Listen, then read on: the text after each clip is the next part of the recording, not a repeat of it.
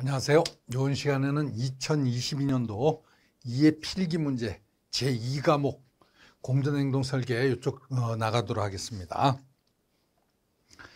21번 공기 압축이 입구 공기 온도와 압력이 각각 27도 100kPa이고 최적이 0.01 루베 퍼세크네요. 압력이 출구에서는 압력이 400kPa. 이 내 압축기의 등 엔트로피 효율이 0.8.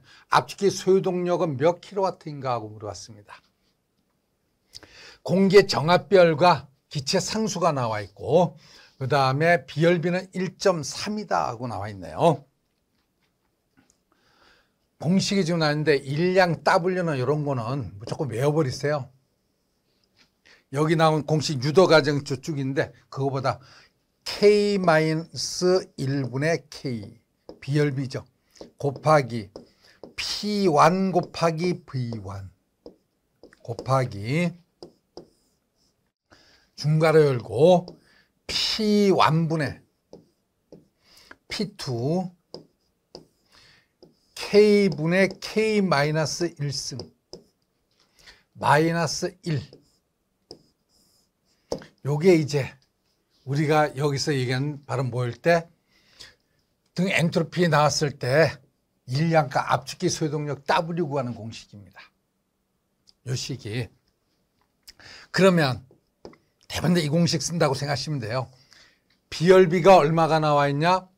1.4가 나왔습니다. K 값이 1.4 마이너스 1분의 1.4 곱하기 처음에 압력이 100kPa입니다.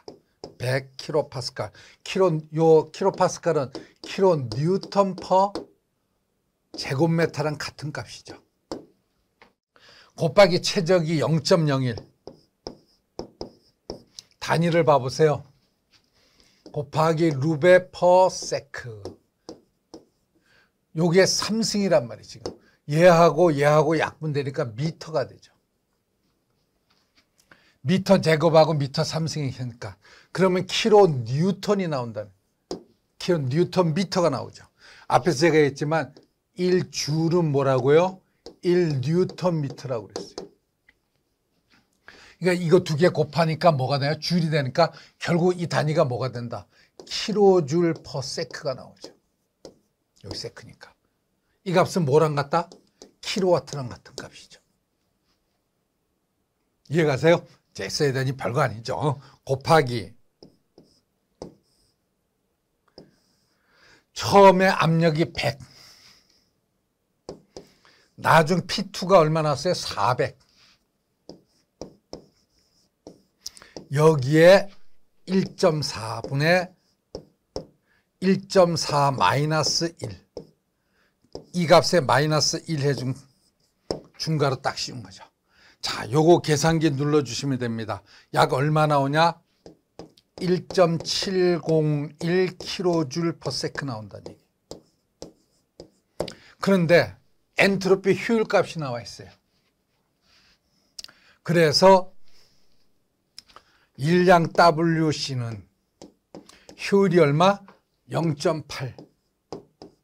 그 다음에 여기서 나온 이 값이 1.701. 요거 계산기 눌러주시면 됩니다. 약 얼마요? 2.1. 약 2.1 정도 나옵니다.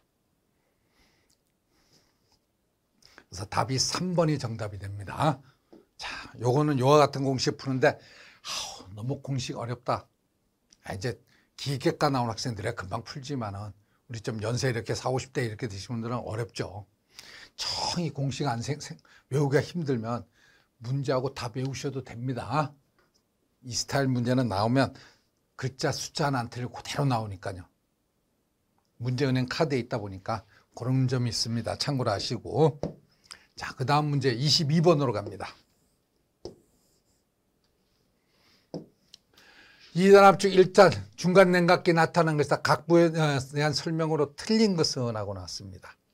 지금 이렇게 나와 있는데 부스타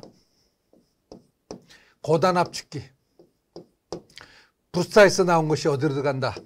중간 냉각기 들어가죠. 여기서 나온 것이 고단 압축기로 들어갑니다. 응축기 수액기를 거쳐서 나온 것이 이쪽 통과해서 증발기로 들어가는 거죠. 여기에 제2팽창변, 여기서 나온 것이 제1팽창변 있죠. 이렇게 되는 거죠, 지금. 그러니까 이게 제1팽창변이고 얘가 어디서 C점, 여기서 오는 게 C점이라는 얘기 지금.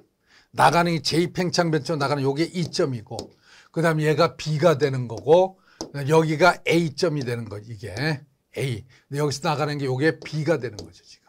이렇게 모양 나왔다는 얘기. 이제 이렇게 하면 전체적으로 그렸으니까 이해가 조금 수월하죠. 이거는. 자, 이렇게 그려놓고 보자는 얘기입니다. 틀린 거 잡으니까 A 냉매가는 요 A네요. 저단 압축기에서 중간 냉각기 냉매로 유입되는 배관이다. 맞죠? B는 여기서 오는 게 B입니다. 제1팽창변. 네? 앞에 밸브 어, 얘기해 주는 거고 D는 D가 어디 있습니까? 여기서 D가 이거네 이게 B가 아니고 여기 D네요. D는 중 냉매 증기온도 A에서 증기온도 높다. 여기서 나온 냉매가 부스타에서 나온 과열증기가 여기서 과열이 돼서 중온중합이 돼가지고 들어가는 거죠. 그러니까 3번 또 맞는, 내, 맞는 내용이네요. A와 C 냉매 순환량이 같다. A는 저단 냉매 순환량 부스타에서 나오니까 C는 어디에요? 여기서 나온 거죠. 중간 냉각에서 나온 거랑 합쳐서 들어간 거죠. 그러니까 C는 바로 뭐가 된다? 고단 냉매 순환량. 얘는 저단 냉매 순환량. 틀리죠. 그래서 답은 4번이 틀렸네요.